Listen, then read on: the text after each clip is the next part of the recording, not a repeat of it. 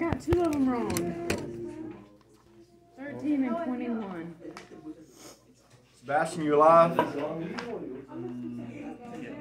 You sit up all night? I will serve you with the utmost courtesy of your life. Whoa, okay. All right, so let's put your phones up for a minute. We're just going to do the front side on this worksheet. We'll save the back for later. You don't need your unit circles out to do this. All you need is a calculator. Make sure, does anybody have an extra calculator? Here's one right here. All right, some of this is going to be really, really easy. Everybody look at number one. All you have to do is type in sine on your calculator of 72. Where's that? Sine is right here. Look, you got sine, cosine, tangent, all right there. Hit sine 72. Let's go to four decimal points on this. Sine of 72 is, so I've got 0.9511. Check behind me, make sure you got that. I got one zero. All right, let's round up the fourth Oh. number. If the fifth, num- fifth number is five or higher, we'll round that zero up and make it a one. That's your answer. That's all you do on number one, two, and three. That's all you do. Just type it in. Uh, the second one got me a fraction. Yeah, I'll leave it as a fraction. Yep, leave it as a fraction. Cosine of 120 is, what'd y'all get? Negative one over two. Negative 1 over 2. That'll work. If it's a decimal, let's go to four decimal places. All right, type in number 3. Do we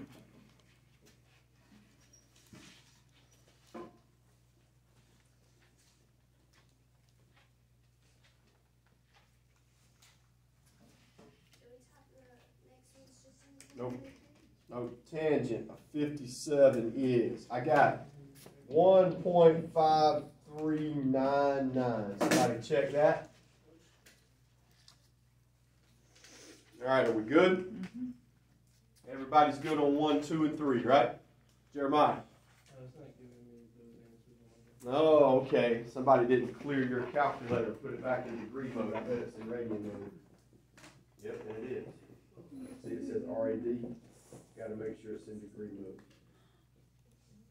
Now it will give you the right answer. Thank you. All right, number four.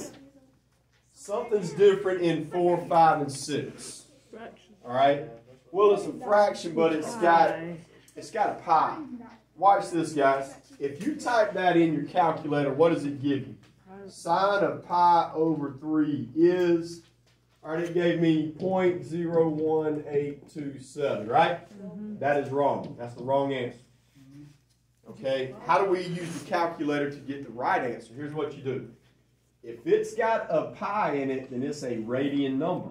And your calculator has to be put in radian mode before you can type in and find the answer for that radian number. So, everybody go to the mode button at the top of your calculator. All right, everybody arrow over one place to rad, R-A-D, that's radian, and hit enter. Now, when you do that, it should change up in the top right-hand corner from degree to radian. So let's do that. All right, hit enter. Blind. Yeah.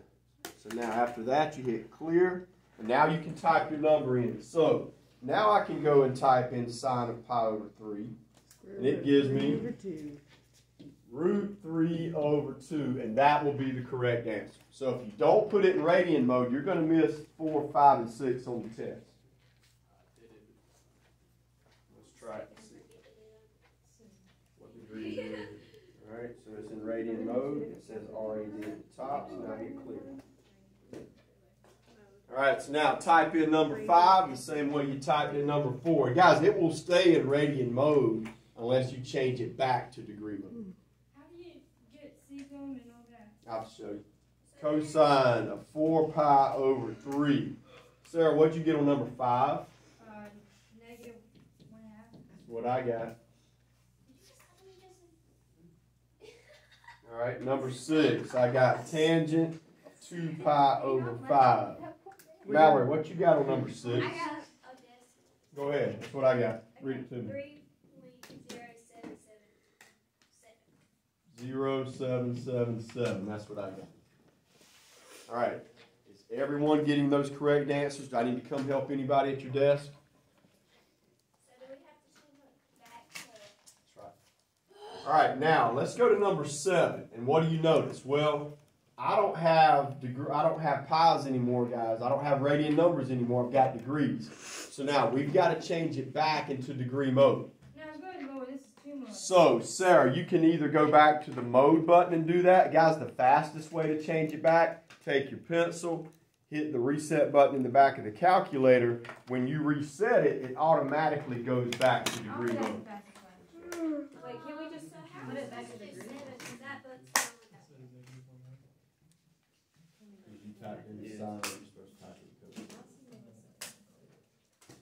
It's easier just to set up. All right. So if you'll just hit the reset button on the back, it should say memory cleared and everything is reset. You get your set? Yep, it's good. All right, so now we got another problem on 7, 8, and 9, and Sarah's already brought this up. Guys, you can't type in secant of 112. How come? It's not a button for secant. So here's how we're going to have to do it. There's not a button for secant, but there is a button for the opposite of secant, or the inverse. So now, Mallory, we're going to do it with cosine instead of secant. Here's how you do it. You'll do 1 over cosine of 112, and that's the same as punching in secant. What? That is stupid. All right, since we don't have a button for secant, you got to do it with the inverse of secant, which is cosine, and you do it that way. I don't like 1 over cosine of 1 112. A lot of positive vibes from you guys today. Not at all. I appreciate it. Negative 2.6695. Check that and make sure that's what everybody gets when you type it in. This should have been one of those things you leave out. This is a bit crazy. Go back to sleep, Jim. There's not Okay. a Go back to sleep. Is this right? Can I go to sleep? I've never fallen asleep. in class. Um, nope. Look how I did the first one. I got the one on top and the cosine of one shown on the bottom. So I have to put the one on top. Yeah. Oh. You're a bit. I'm not a bit Mallory, you sound like the rest of that bunch now. Maybe if enough. Sound like Sarah and Jenna. Well, this is actually dumb. All right, so well, guys, you got to know how to type this stuff in the calculator. I know, but you. We don't have a button for you don't need- cosecant, so what are we going to do? We're going to use the opposite, which is sine. You got to do it this way: one over sine of two twelve. One's got to be on top all by itself. Sine of two twelve has to be on the bottom. I got negative one point eight eight seven one. See if everybody else gets that.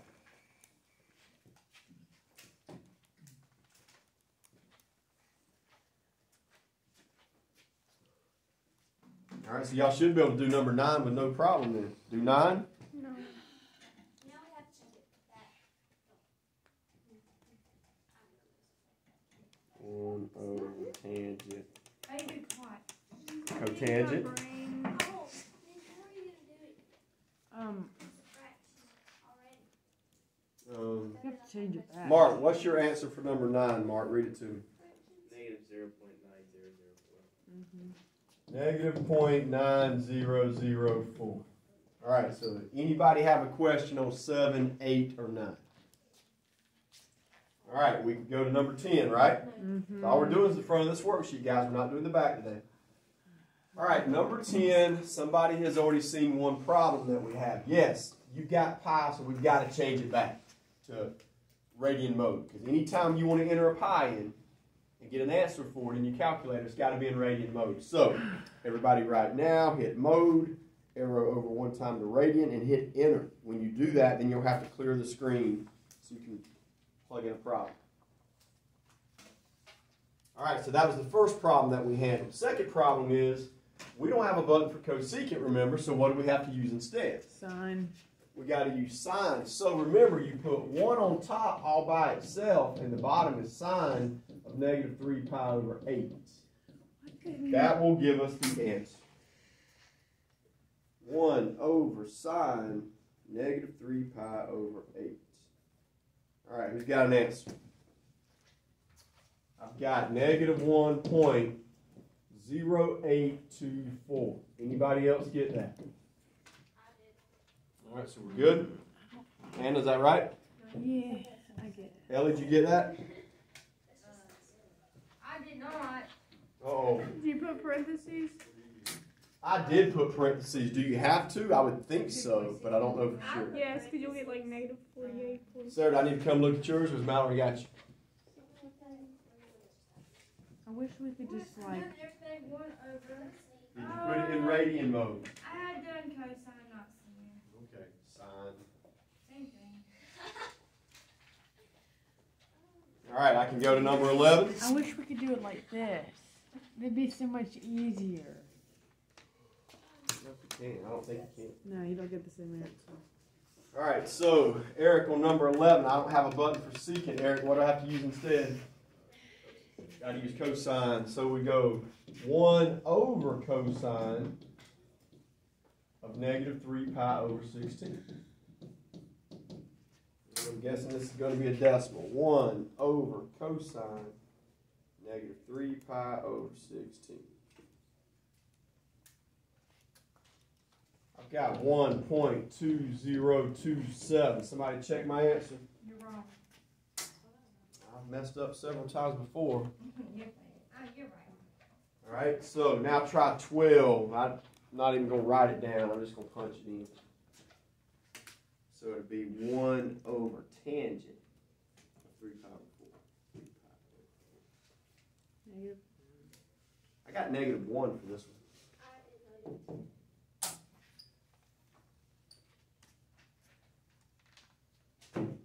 Where do you get the one? That's what I typed in there. Yeah, I know, but like, where did you get the one? Because in theirs they don't have a one. Okay.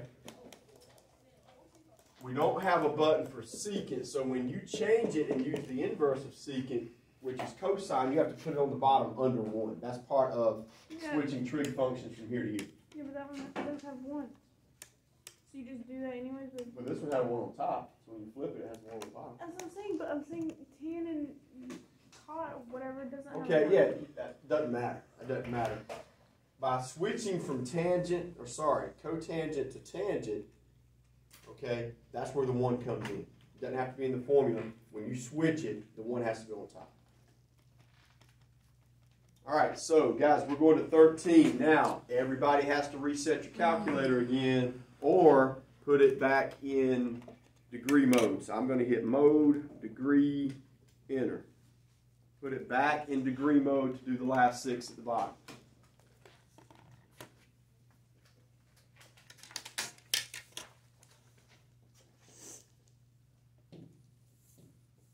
Sin x equals 0.0612.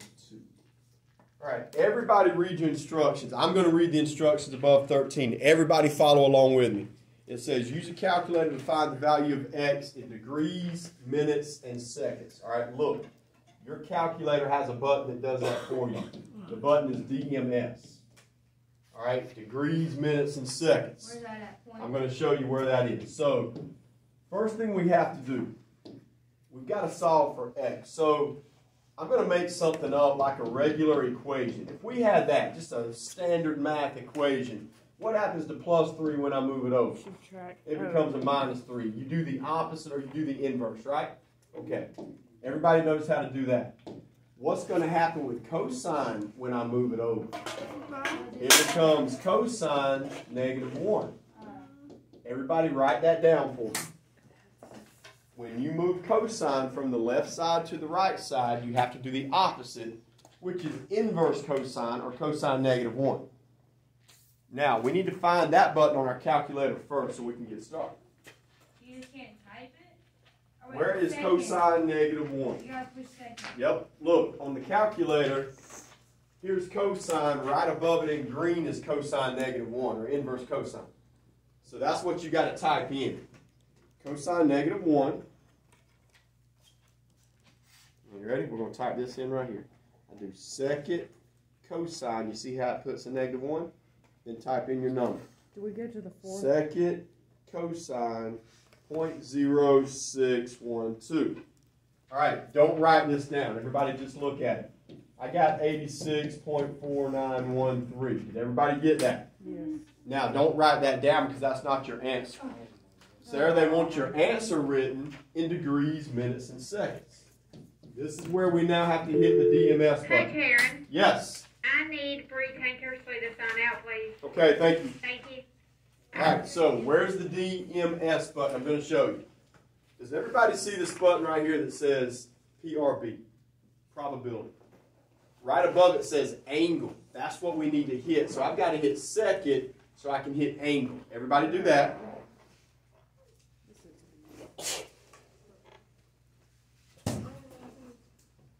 I done something wrong. Alright, now Oh, look at the top. It says DMS, but we've got to be able to highlight that. You can scroll down to number six. Everybody scroll down to number six. I can write all of that. I'm not finished there. If you'll hit enter and then hit enter again, it puts your number in degrees, minutes, and seconds. So I'm going to show y'all a faster way to do it next time. So I got 86 degrees, 29 minutes, and 29 seconds because I rounded my 28 up to 29. All right, so let's do it again. Let's do it again. Let's go back. Let's type this in again. I'm going to make it easier for you this time around. Go back and type that in again, okay? Cosine negative 1.0612 and hit enter. All right, stop. All right, now go back and let's hit second angle. And guys, instead of scrolling down this time, just go hit number six in your calculator and it goes straight to DMS. And then you can hit enter and it gives you the answer. I'm gonna need to come Wait.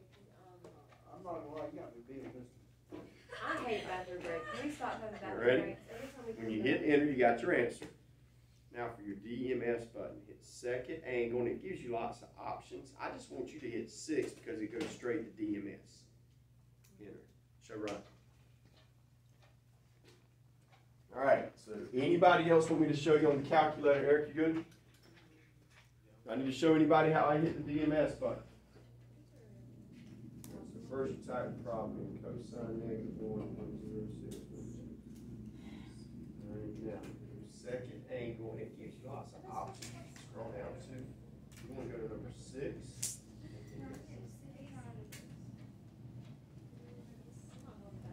Alright, can we go to fourteen? How would you do the hold on? Am I- Let me that far. Can we go to the next one? I just showed you how to do that. still don't understand. Alright, well, let's keep, let's do some more and we'll understand. That looks like. What you got? So that's the answer. Yeah, I'll come do the next one for you too.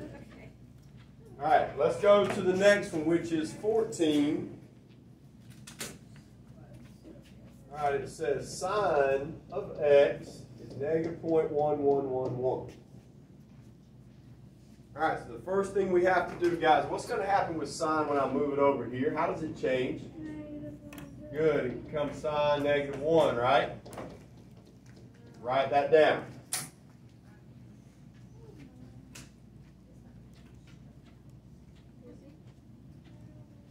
All right, now I need y'all to type that in. Sine negative 1, inverse sine negative point one one one one.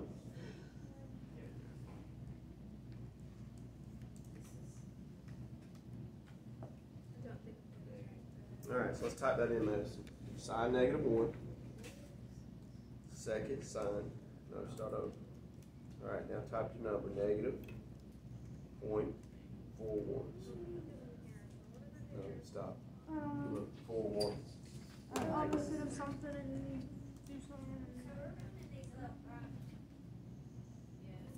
No, you gotta hit negative, can't hit minus. I hate this. Point Have I mentioned that I hate this? one one one one. Hit enter. Okay, ready? So now we want to change that to degrees, minutes, and seconds. So second angle. Now it has lots of them on here. All right, we want that number six DMS. So look, all you gotta do is hit six. It brings it up, and then hit enter. All right, what did y'all get for an answer on 14? Anybody brave enough to share your answer? Negative. Negative A six. Negative six, okay. Negative point one one one one DMS. All right, I got negative six degrees, twenty-two minutes, and forty-three seconds. Check that before I go to the next one. Make sure you know how to bring it up. Paisley, Zoe, we good? Where did you get that? Show you how I got it? Oh, okay. With Once you get here, it Oh. it says put it in degrees, minutes, and seconds. So watch, second angle, go straight to number six instead of just scrolling down, that brings up the gas. Okay. So every time I've done this one, I'm not doing it. Yeah, stop, I gotta show you that. Stop. Yeah. I did the don't try. Yeah, Don't do it. you don't, trust me, you wanna stop on that, I'm gonna show you a shortcut on that one. I just wanna know if, how to not get doing it. Alright, so that's what I got on fifteen. You guys try fifteen real quick. That's what I got first block, and let's see if that is, I'm sure that's the correct answer.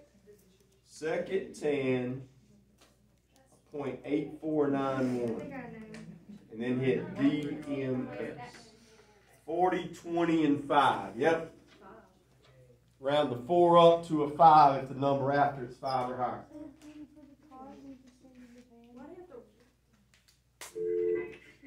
Please pardon this interruption. I need Miss Middleton's eleventh grade homeroom to come to the one hundred hall at this time.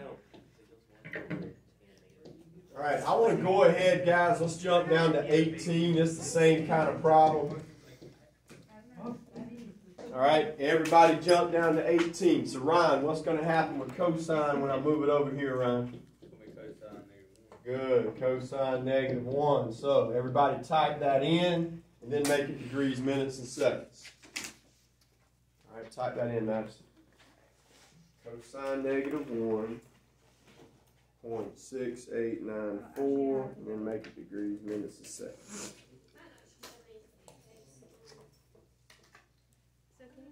Second cosine, 0.6894. All right, now we got to make it degrees, minutes, and seconds. You remember how I showed you how to do it? Hit second angle. Let me show you. The angle's in green right there. See where it says angle? Now, go straight to number six. No, just hit six. Okay, hang on, you hit something wrong.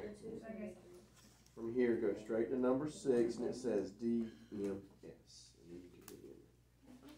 All right, so what I got? I got 46 degrees, 25 minutes, and three seconds.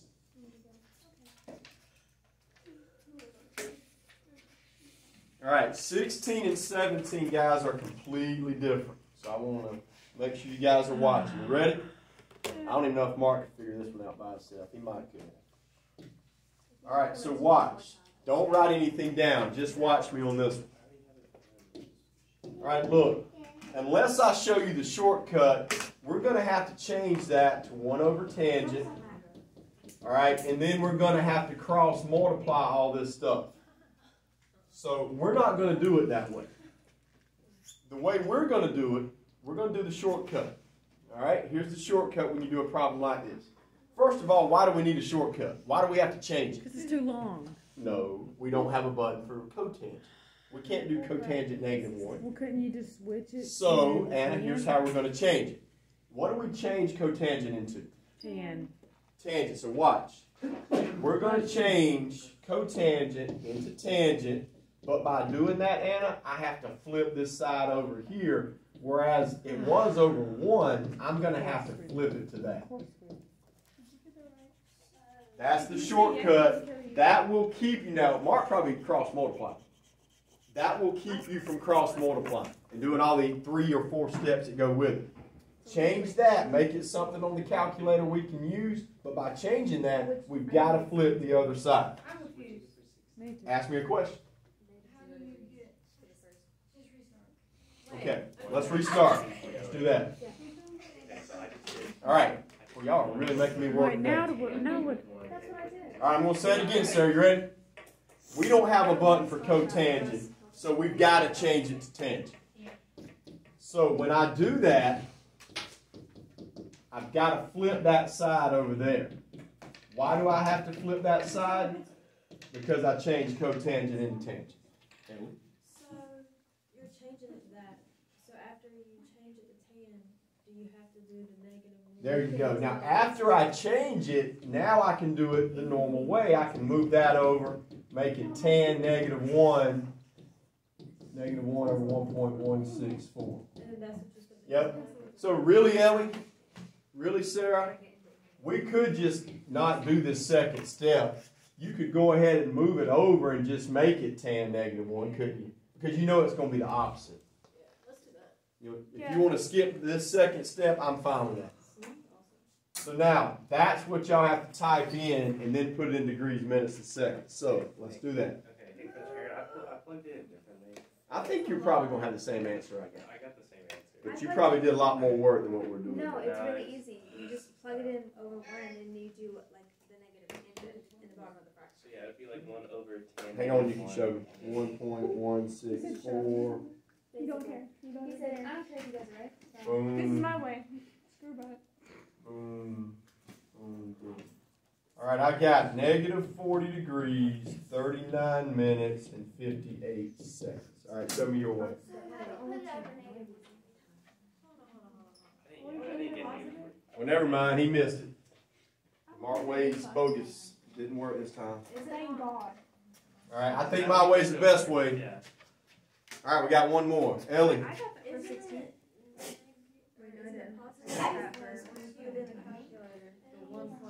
Not gonna be on there tomorrow? No, this is no test mark. No, that's the answer. When you plug that in the calculator, make it DMS, it comes up that. Bottom's negative though. Are you thinking negative times a negative? Is that what you're thinking? No, Right. the bottom, the one point one six four, Yeah. Well, what I did, instead of putting that on the bottom, I just left the negative up top.